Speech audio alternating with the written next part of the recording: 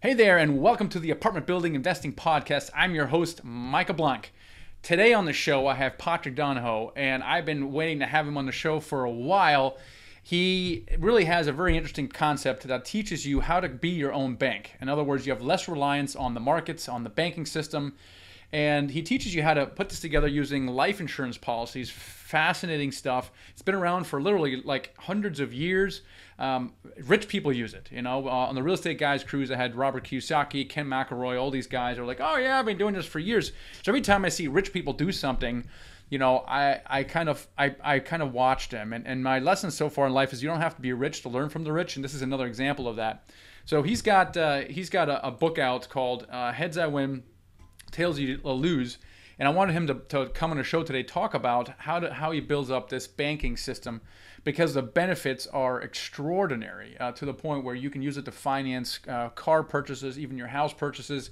And then within years, it becomes a, a retirement fund that pays you kind of like a like an IRA might. And then after that, it actually has a death benefit. So, and then fourth, it's actually a legacy you can pay, pass on to your children that keeps paying and paying and paying and it is absolutely fantastic. So I'm really, really interested in that. So we're going to get into that in just a second. Before we do, I just want to make remind you guys my book is out, Financial Freedom with Real Estate Investing. It took me a long time to uh, to write this book. It's all about well how you can come how you can quit your job with real estate even if you don't have the experience or your own cash.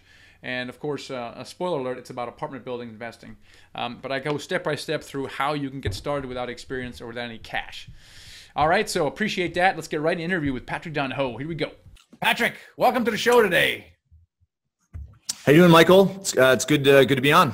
Yeah, man, it's great that you're on here. Um, we've known each other for uh, about about a year and a half now. We met a couple times, and I'm just really fascinated by what you do. It was mm-hmm. always a bit of mystery to me, and I started looking into it. I read your your your uh, book, head you know heads I heads I win, tails you lose, or the other way around. and fascinated no, you got it right. You got it right. So, mm-hmm. so, so I, you know, I, I wanted you on the show because the stuff that you're teaching is so new to me, and I, you know, I, I heard about it first time on the Real Estate Guys cruise, and you know, it's got Robert Kiyosaki, Ken McElroy on there, and people going, you know, uh, Phil, what are you doing? God. All right, hold on. We have to start that one over. I'm gonna lock. I'm gonna lock this meeting. Who who is that? one of my uh, more. We're going to start that one out. Luckily, we're only 60 seconds into it, and I screwed up the title of your book, so we got to fix that. No, you got that. I think uh, you got it right. Has everyone tells you lose. Locking meeting, so no one else can join. This happens sometimes because the link just floats around on there. Do you just use the same link then for each for each meeting? I do. Heads yeah, yeah. Okay, gotcha. All right, here we go. Take two. Okay. Three, two, one. Patrick, welcome to the show today. How you doing, Michael? It's, uh, it's awesome to be on.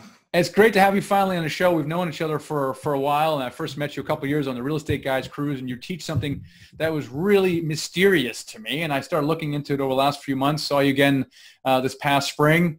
Really looking into the uh, the alternative to a banking system that, that you teach, and that you have a book out called "Heads I Win, Tails I Tails You Lose," where you talk about uh, how this is together. And I think this thing is fascinating. Every time I hear someone you know, come up with these new ideas, especially when other people like Robert Kiyosaki, Ken McElroy, they're like, oh yeah, we know about that. We do that all the time. I'm like, well, where has this been all my life, right? Mm-hmm. So every time I learn mm-hmm. something like that, I'm fascinated by it. So I'm, I'm really pleased that you're here because you've really literally written a book on it. And as it turns out, it's been around, or a variation of that has been around for a very long time, but it's a very, very little understood thing so we'll keep it at thing for now. Before we get into the thing, um, just introduce yourself a little bit and talk about your business. Uh, sure. Yeah, I uh, you know I've been I've been doing this for over uh, over a decade. I actually learned about the strat- financial strategies we teach from one of the first Rich Dad advisors. Her name's uh, Kim Butler. So I met her through this executive entrepreneur coaching program like back in 2006, 2005, 2006. And it fascinated me as far as what she what she did. And similar to your story, uh, I I read Rich Dad Poor Dad. It totally shifted my mindset regarding just business and my career and my future. And and so meeting her, I also had that you know kind of starstruckness where you know I I was glued to her every word. Uh, but she, you know, took me in a sense under under her wing, taught me uh, you know, a, a, lot about what she did. And, uh, the, and the, the financial strategies are, are, as you said, really, they've been around for a long, a long time, a really long time. And it was what we call the, the traditional financial planning, uh, but the typical financial planning took over in the 1970s and 1980s, right, with the advent of some legislation as well as you know some failure in pension plans. So it, it's it really has been drowned out by a lot of the noise that's been created by uh, the typical financial planning world. So your investment banks, your mutual funds, and, and so forth. And uh, so you know my story is 2007 is when I decided to uh, actually do it full time. And I, I formed a partnership with the company I was working with, and it and it was going great for for six months uh, ish. And then you know the whole 2008 2009 calamities, you know financial calamities, you know wiped wiped uh, the partnership out, and and I was you know on the brink of well, my wife wanted me to just go get a job anywhere because nothing was coming in and a lot was going out. Uh, but anyway, I, I, you know, I stuck it out and through, you know, some partnerships and through some, you know, I would say uh, serendipity, you know, I, I was able to, uh, to make it, right? So we've been around, we have, you know, clients in all states, uh, the various provinces in Canada, uh, some international clients as well. And, you know, we, we teach, we teach this strategy and how it pertains to a person's financial life, right? You're, you're used to, to talking with real estate investors. Uh, that you know tends to be a big part of our audience. Uh, but as far as business owners or just regular people, you know, it works. Uh, it works as well. And it is it's something that you know is kind of making its way back into you know the mainstream, I guess you can say, because you know there's has been such a uh, you know dissatisfaction with Wall Street and 401ks and IRAs and mutual funds. And uh, and I think you know with market corrections on the horizon, I think it's going to uh, uh, you know weather weather that storm obviously, but become more uh, more popular uh, as people start to realize you know a lot of the stuff that goes on on the East Coast and in those markets, and uh, and why it doesn't necessarily benefit them in the short or the long run. Now, before we get into the solution, let's talk about the problem because your, your title of your book is very interesting. It says heads that win, tails you lose, which is interesting as well. But it's a financial strategy to reignite the American dream, implying that there's something wrong with the American dream. What's wrong in your opinion about the American dream?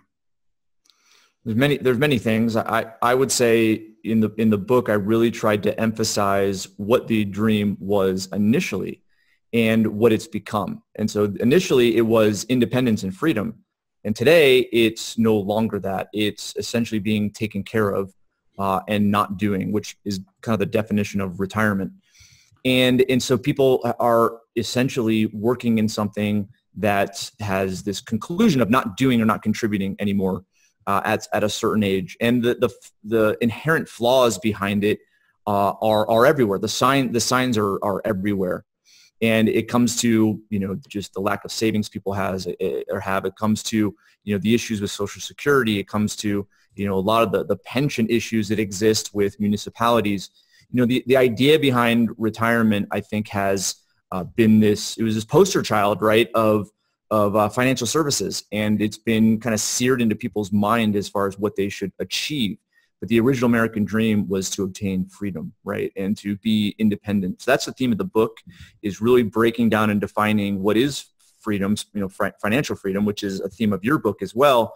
And it's a combination of a few things. You know, first and foremost, it's you know realizing that retirement is not possible uh, unless you want to save 50 to 60 percent of your income right now, which nobody does uh, just because of longevity, because of rates of return, because of you know the typical investments that are out there. And the book essentially breaks down all of that math and shows that it's very unreasonable to uh, to believe that. Uh, but then second, it's also you know what you do with uh, with your money. Most people are taught that wealth is built outside of them, and I don't believe that's the case. Now, obviously, you advocate real estate. I advocate uh, some financial tools and products as well, including real estate.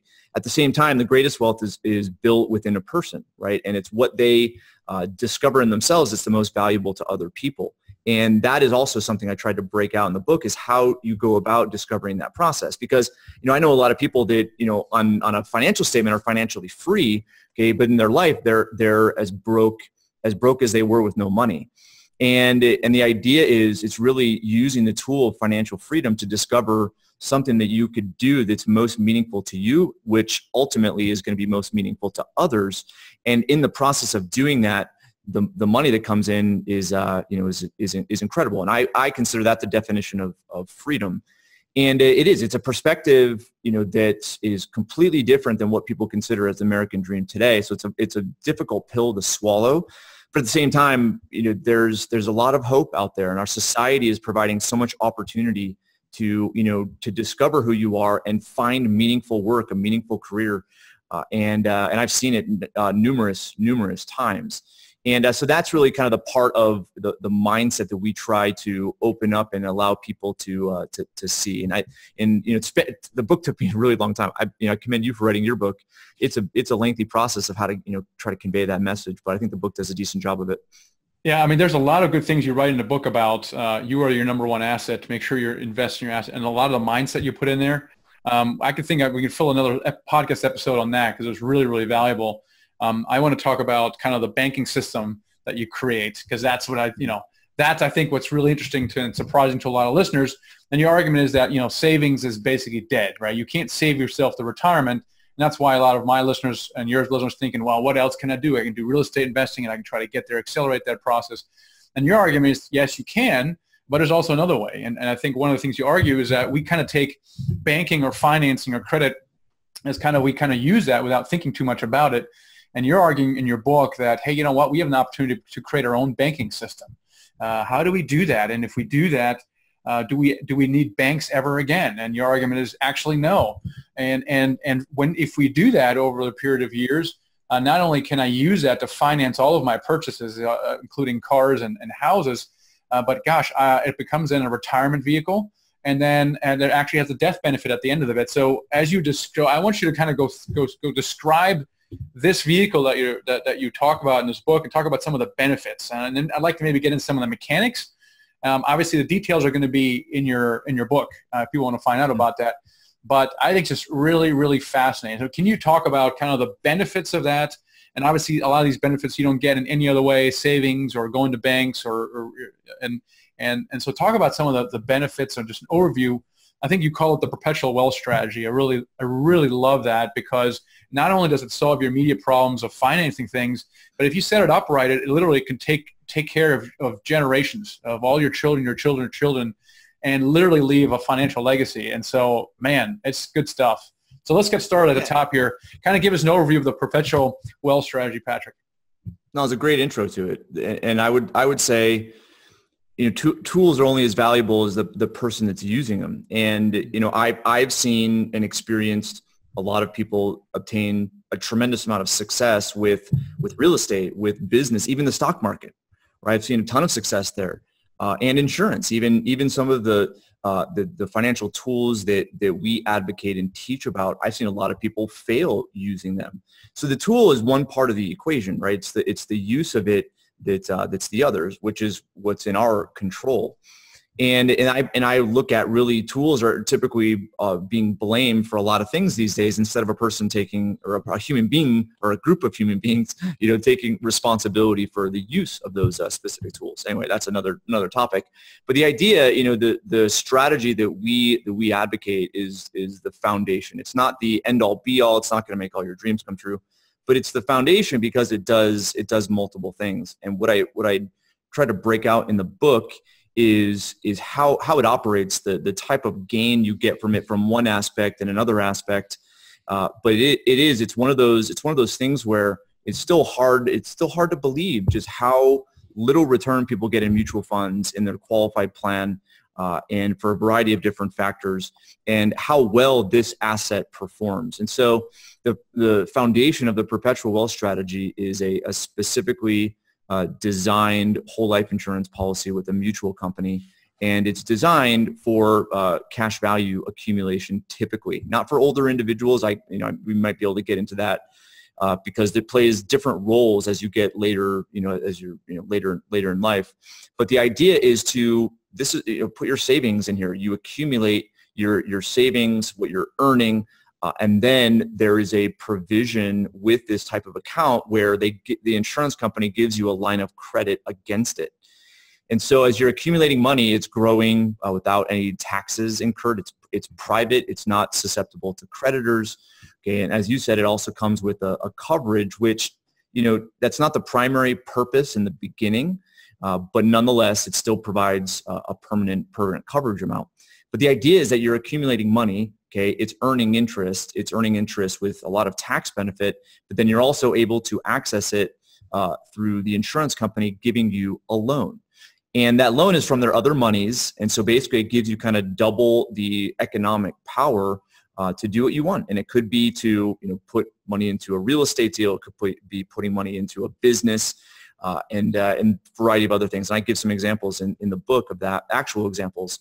Uh, but the idea is it essentially takes money away from going into an investment bank or going into a normal bank where you don't have those same characteristics you have an investment if it goes into a mutual fund or a 401k. And then also if it goes into a bank, it's, it's savings because you can't necessarily lose the money, but you don't earn anything on it.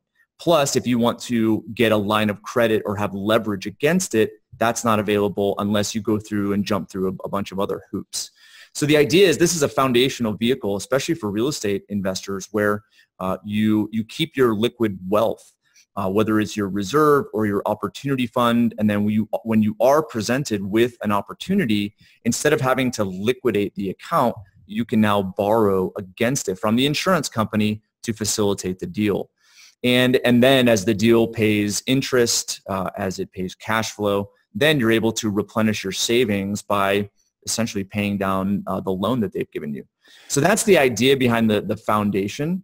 Uh, and and then as time time goes on, as you had mentioned, it plays some additional roles. Uh, there is interest, there's dividends, which can be accessed tax-free. So it could be part of your passive income in the future. But a big piece, and especially with real estate investors, I mean, I have a client right now who has uh, $7 million worth of paid off real estate. And that's just the, that's just the, and he has $4 million in cash. And he's like, you know, and, and he's preparing with his estate and he's preparing for you know his kid's future, his legacy. And, and fortunately, he has a lot of insurance uh, on him. And so we're looking at essentially designing his estate plan, his leg- legacy plan, so that it mitigates a lot of the taxes associated with transferring real estate. Okay. Also, uh, there's he has some business interests as well. So the idea of insurance is that it's the most liquid legacy asset available. Real estate isn't liquid when it passes uh, in your estate. Uh, you know, business assets, same thing.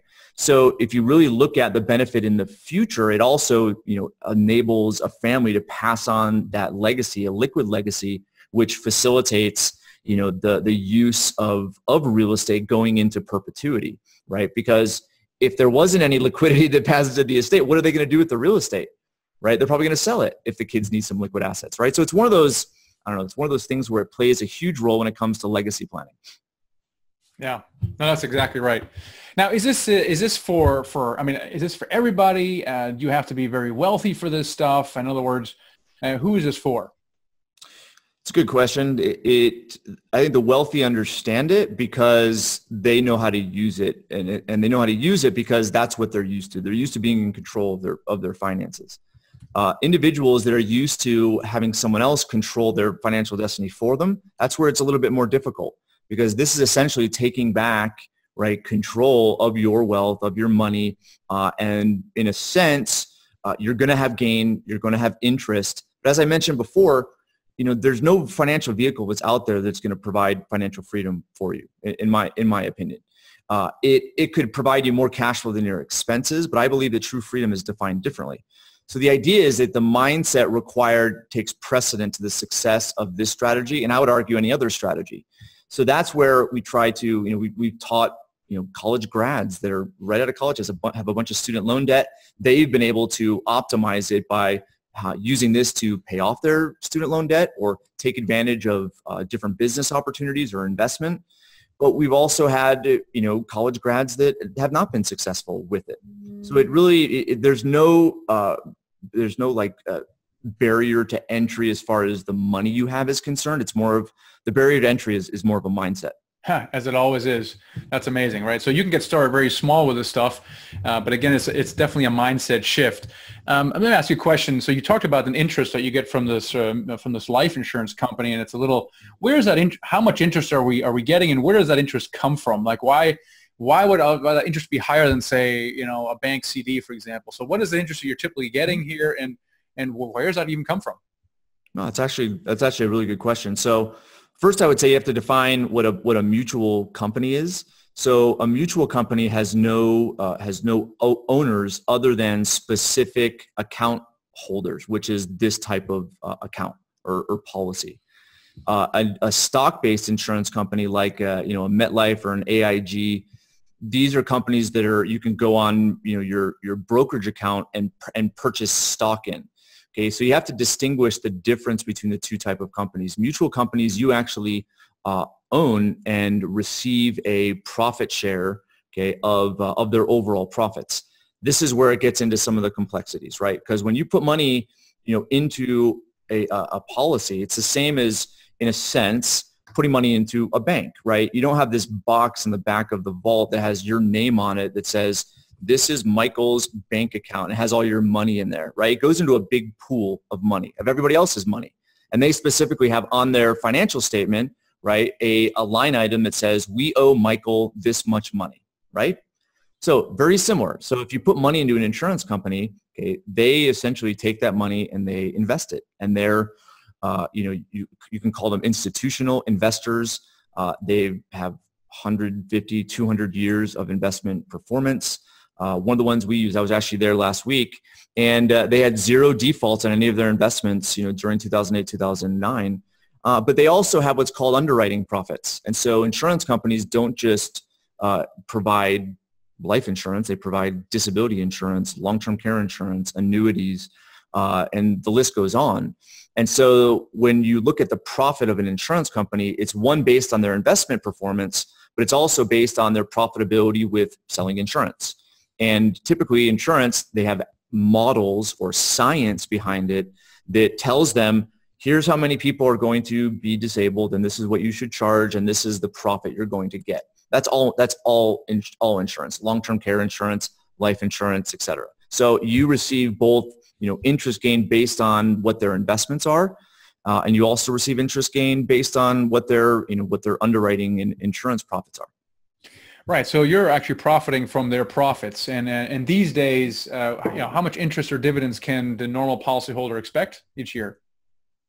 It yeah, it depends per company. I mean, there's there's one right now, you know, specific to real estate that uh, that's been doing um, really well. I mean, they're all usually between four and six percent. They've been as high as nine if you go back to the 80s and 90s. Uh, but they, this specific company uh, made this huge, like 170 million dollar investment in the Boston Harbor. And this was back, I think, after the dot-com crash. And uh, they sold one of the parcels, I think, two years ago for like 1.4 billion dollars or something like that. So it's it's one of those things where you know they have access to a lot a lot of capital, very well capitalized companies, and they're able to participate whether in acquiring companies, uh, they're able to participate in you know those type of joint venture real estate developments, uh, business ventures, and and so forth. So it's one of those it's one of those things where you know they they have access to that that money. Uh, they're institutional investor, investors. They they have fiduciary responsibilities uh, to you as an, uh, an owner of uh, of the company. Okay, but at the same time, you know that's not hundred percent of their you know assets. Okay, that might be five percent or ten percent for those you know maybe riskier ventures. Uh, but their whole purpose is is long term to be able to fulfill you know, essentially the benefits that they've guaranteed. I mean, a lot of this stuff is guaranteed. So therefore, they're not, you know, putting money into, you know, cryptocurrency ICOs and, you know, th- it, they are the most conservative uh, investors that are that are out there, and so their returns reflect reflect that. But if you yep. look at a four to six percent internal return after fees, right, tax free compared to most mutual funds that are out there, it blows it out of the water. So it's it really one of those does. things where you do a comparison. Number one, this isn't an investment.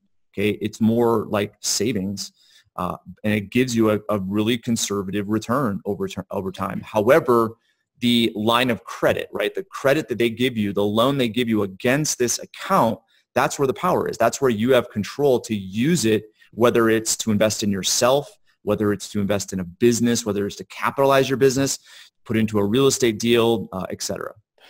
Well, there's actually two differences already from a savings account. Number one, the returns are much higher. I can't believe 5%. I was thinking in my head like 2%. You know, 5% is actually a lot. And you're right. The life insurance companies are the most conservative ones. They buy triple net properties and, and it's like the, the brain dead, low return, you know, thing. So 5%, that's a lot. And, and then you can then borrow um, against the value of that. And, and so you're, meanwhile, while you're borrowing and doing stuff with it, financing stuff, buying real estate, the full face value of that insurance policy is, is earning 5%. So you're kind of sort of double dipping in, in, in some sense. Now, how much of that can you borrow? So let's say I've got $100,000 I put into a insurance policy. How much of that, you know, what's the cash value that I can borrow against? Well, it comes down to the the, the design. There are a number of ways to uh, to design it, but if you have hundred thousand dollars of of cash that's there, okay, it's it's earning its interest, it's earning its dividend. You can borrow up to the uh, entire amount. No. And you got to realize though that you are paying the insurance company interest. Okay, because you got to realize when an insurance company lends you money, it's not your money. Your money is part of the pool, but the line item, right, that's that's there on their financial statement stays intact. Okay, this is essentially lending you money that would have gone to another investment, but because they lent it to you, okay, it can't go to another investment. So that's why they're going to charge you uh, pretty much what they would have earned somewhere else. Right now, you see loan rates from four to uh, four to five percent Right. That's that's still pretty amazing because meanwhile you're you're you're basically covering your costs by them paying you interest and dividends in the back end. So it's almost like you're not paying anything. And then there's the tax. But at the same benefit. time, that loan, it's yeah. like you don't have to qualify for it, right? right? There, it doesn't show up on your credit report, uh, and they also only bill you interest once a year, and they allow you to defer if there's enough cash value. They allow you to defer the interest to the next year hmm. without penalty. And so it's one of those loans that doesn't really it doesn't make sense because there's nothing like it in the marketplace. Okay. But at the same time, if you look at the benefits of having that much flexibility, I mean, that's a that's another kind of non-tangible benefit on top of everything else. So, like you said, it, it's not really an investment vehicle per se. It's it's kind of a, like a I would call me a financial foundation, a, a, a utility, a tool that you can use. Can you give us an example of how one might use this? You know, pick something. I don't know. I want to finance a car, a house. I want to uh, and whatever you know whatever people use it for. Once it's set up, kind of walk us through how it's used maybe over the years, maybe in the next five years and maybe next 20 years and what it becomes after that and just give people a kind of a, an, a, a visual of what that could look like. Well, I'll, I'll explain how I, I use it, which is how we, how we teach uh, clients. And obviously we, we teach clients relative to their situation. And so all situations don't apply equally. And so there's not one standard way of using it. So I'll, I'll give you I'll give you my example. Uh, so with with me, how I've structured my entire financial life is uh, I hold my reserves inside of uh, inside of insurance policies. That's both with uh, my personal life as well as my business. Um, and I have a you know I have 60 people that, that work underneath our umbrella and have a huge payroll. And you know it's something that you know I experienced not having money during 2008, 2009, 2010, right? And actually having negative money, figuring out, you know, how to, to uh, you know, to pay this bill and pay this employee. And it was, it was, man, it was, uh, it was insane. It was similar to your franchise, franchise experience, I imagine. And the, the idea is now this helps my wife sleep, sleep well at night, right? Is knowing that there is a reserve there uh, for our personal lives uh, and I keep 12 months. I keep 12 months of our expenses in, inside of uh, various insurance policies. Uh, and then I keep uh, three months inside of uh, policies for my business. Then everything above and beyond that becomes my opportunity fund. So let's say, you know, just round numbers, all of that was, you know, it's, it's more $100,000. It's more than that, but it's $100,000. So if I have $200,000 in my, you know, in policies, that second, you know, 100,000, the, the excess is what my opportunity fund is. So my opportunity fund is I'm looking for opportunities to grow wealth. It could be invest in a, a, an employee, which I've done a lot of that in the past. Uh, invest in a, a marketing platform, uh, invest in a property or invest in real estate, uh, invest in yourself, go to, you know, go to a seminar. And the idea is that, you know, you treat that access to capital right, as an investment. Uh, and then that investment essentially is paid back as you get a return on that investment. Okay. So that's how I, that's how I operate. That's how I operate mine. And well, I have a, let me get this straight there. You're using it for various different business expenses, including education and mm-hmm. uh, software and whatever else. And then so you borrow against that and you pay a certain interest rate that you uh, that you set possibly back to the to the fund, and then you get to keep the profit of that investment, or do you have to pay like an IRA? Do you have to pay the profit back into the into the actual fund? No, it's not. It's not treated like an, an IRA. This is very. This is a use of it that is not dictated by anyone but you.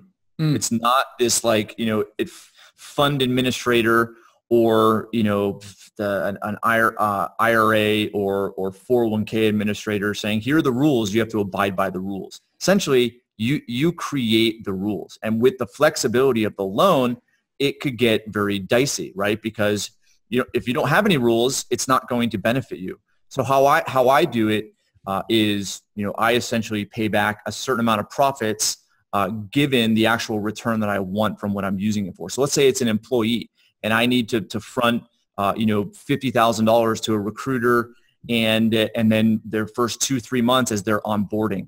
I'm going to want, you know, a 2x return on that. And so I'll look at, okay, I need all my interest back plus a 2x return on that in- initial investment. So I'll do something like that. For, but for like a menial, like let's say it's a car purchase or a remodel of your house. I don't really advocate stuff like that, but let's say it's a, a remodel of your house and you know the bank quoted you 8% and you had to pay it back on an amortization schedule of 10 years. So essentially you would borrow against uh, the policy uh, at let's say 5 uh, and then you'd pay it back at 10 and that difference right is essentially um, just or not, uh, did I say 8 in the beginning? You pay it back at 8 right? So you would you know essentially have uh, more money being paid back than it actually costs you to borrow. Now, you don't have to do that. I know people that don't pay, they just pay the interest that the insurance company charges them, which is fine. Uh, but there's others that, you know, would want to treat that capital the same as if they were, uh, you know, having to borrow from uh, a bank and what their rate would be. Isn't the idea to basically start replacing a bank through these kind of policies, right? So if you have the discipline, you talked about, you know, you have this tool and you can either use it this way or that way, mm-hmm. but it strikes me as if you if you had the discipline to basically treat your own policy as if you're borrowing money for the bank, let's say you're, uh, you're, borrowing money to, to finance a car, you got to pay whatever 5% interest and certain amount of closing fees and stuff like that. Mm-hmm. And you, you treat, instead of going to the bank, you actually use your own policy for that. And, and let's say you pay back four or five years, you keep doing that. The cash value uh, keeps growing uh, as well as the interest and dividends that come from that. Yeah. And that's where, you know, with, with me, it's, I, I use it based on what I experienced in the in the past. I experienced banks laughing at me when I wanted to get a credit. You know, I just wanted a, a card to give to employees, right, so that they can you know have a card to make expenses instead of using just one card for everybody right and i couldn't get credit i couldn't and this was you know 2009 2010 2011 and uh, so i i valued credit a lot more than i valued my policies a lot more because that's all that i used uh, back then to finance the business. But as I've gotten, you know, my, my credit is, is excellent now, like all the blemishes are gone. And, and I use bank credit. I use it for, for real estate. I use it for business. But when I go into use credit, I have an, I have an alternative. And because I have an alternative, I don't have to use them. And so if the terms are changed or the terms are not favorable or there's not enough flexibility or it's limited by the dollar amount, I don't have to, to dink around with them. Okay, I'm I'm able to use you know what I've already set up as, as a tool as a tool of leverage. And I think if you have alternatives, you're going to make better better decisions when it comes to using bank money because that's where I think a lot of people get get in trouble when banks lend them a lot of a lot of money. Most people don't realize that if things go sour, their life is is not over, but their financial life is over, whether it's garnishments or court or fees or collections or credit I mean, it's it's one of those things where if you haven't experienced that, you know, go find someone that has, and and hopefully that teaches you some good lessons in regards to using uh, using banks for whether it's your business or your your real estate uh, or other purposes. I remember in, in, the book you also talk about that the uh, the policy uh, takes on uh, a, has a secondary benefit, the death benefit being one of them. But even before then, it becomes a passive income generator where um, after a certain number of years, unlike an IRA that you draw on a certain amount, it starts uh, eating at the at the principal of that. And as people live longer and longer, they actually uh, most people run out run out of money.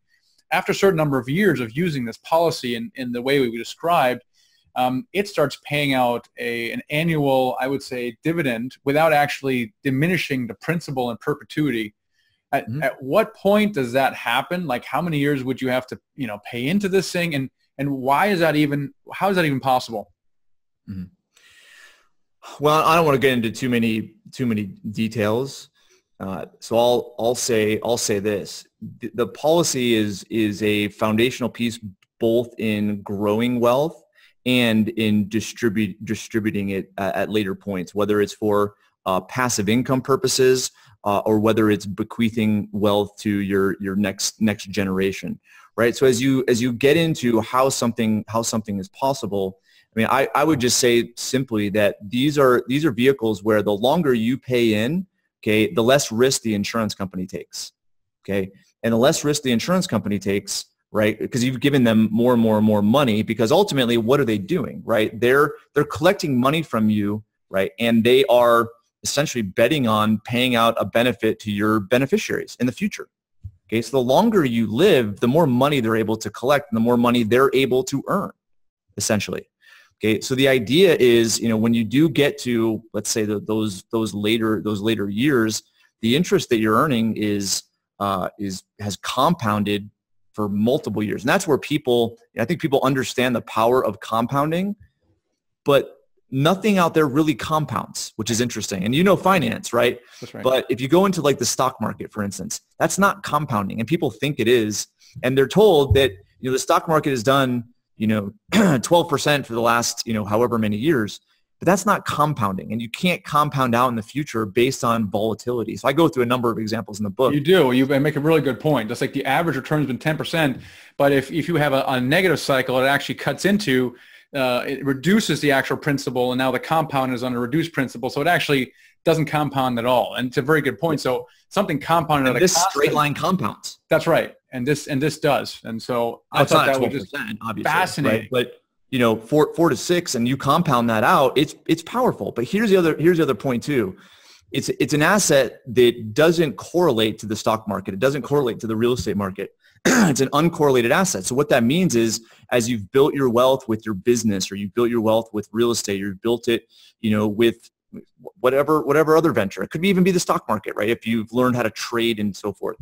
The idea is that when you get to those later, those later years and you want to have uh, passive income, okay, using this as a part of the income allows you to, you know, essentially model the volatility. So if your real estate is down one year because you had to put money into a roof or you had to, you know, uh, you didn't have a tenant for six months or, you know, wh- whatever the case, when one asset is down, you can leverage this because it didn't correlate to that. And so that allows you consistency with income without having to resort to you know other measures to get uh, to, to get money if that if that makes sense so i give some examples in the book of just how to use it if you do have a, a retirement account or a 401k or an ira where if you use this this model right of when a market is when the market is down uh, and using this it extends your your money out triple triple past what it would have extended out to and that's why you know these days the, the monte carlo simulations that have been uh, been used, that that interest rate, the income rate that financial planners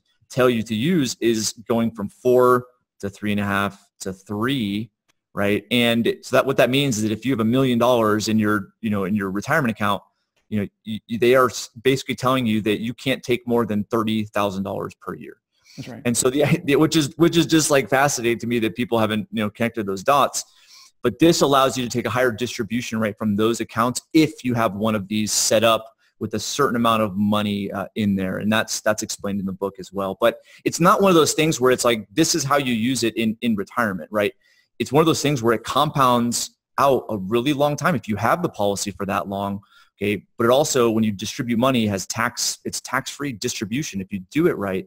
Uh, and then as far as your other assets are concerned, okay, you can structure it so that some money is coming from the insurance policy, some money is coming from the other assets, and you can balance balance it out so that you don't deplete one one or the other. Does that make sense? It does. The thing, fundamental thing is you don't have to be rich to learn from the rich. And uh, Patrick, your book is Heads I Win, Tails You Lose, a financial strategy for reigniting the American dream. Everyone listening to this needs to buy this book because it's definitely a game changer. It was for me. So it was really great meeting you and, uh, and, and just reading this book and understanding the strategy a lot more. So I will be working with you to kind of work this out for myself. So Patrick, thank you so much for coming on the show. Michael, it's, uh, it's awesome to be on. Great conversation. Thank you. All right, guys, hope you enjoyed that interview with Patrick Donohoe. So, as homework right now, you have two books you need to read. One is, of course, my book, Financial Freedom with Real Estate Investing, must read, followed very closely by Patrick's Heads I Win, Tails You Lose. Um, really fascinating stuff. He has lots of examples in there, and I think uh, it's like this. You know, what I'm trying to do. I'm trying to shift your minds about what you think about apartment building investing, and Patrick's really trying to shift your mind what you think about banking and saving and investing. So it's definitely a mind shifting kind of book and it gives you a lot of the how-to as well. So definitely check that out and contact him for more information if you want to get started with that as well. Really excited about my upcoming live event. It's called Dealmaker Live. It's November 2nd through 4th at the at the Hyatt in Reston, Virginia. That's November 2nd through 4th. So put that on your calendar. Go to themichaelblank.com forward slash events and find out for more information and to sign up. Um, I can say that the tickets are selling out fast. We only have about 300 capacity in this room and we will definitely fill up because we're promoting it to uh, Dealmaker Mastermind members first before the general public. Now we're in the general public, so it's now open to you guys. It's really all about deals. Dealmaker Live, we have a community called Dealmaker Mastermind. Once a month, we get together and and we share uh, a share live deal together, and we have Q and A. And now we're going to do it in person. So we're going to have people present real live deals, how they found it, how they financed it, how they've raised the money for it, some twists and turns. There's going to be Q&A, and as all of my events, there's going to be a ton of networking. There's VIP options available as well. So go to michaelblank.com forward slash events, find out more info, and grab your tickets. All right, you guys, really appreciate it. I will catch you on the next episode. All right, I hope you enjoyed that. Now, as the next step, download this ebook right here. Okay? When you've downloaded that, uh, make sure you also subscribe to my YouTube channel because then you can get all of the videos that I release as soon as I release. So make sure you subscribe to the YouTube channel right now. Click on that right now. And then also make sure that uh, this is the next best video to watch is this one right here. So hope you enjoy that. I'll catch you next time.